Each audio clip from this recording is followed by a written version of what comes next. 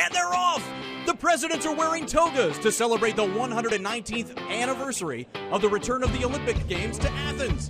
Abe goes down! It's a relay race! It was Abe against Tom in the first leg, but Abe is down! Tom is all alone!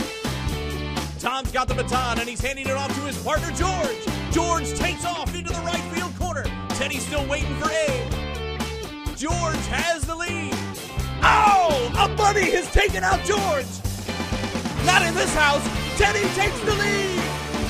Teddy's all alone in the Geico President's race. Teddy is stopped just short of the line. Where's Bill?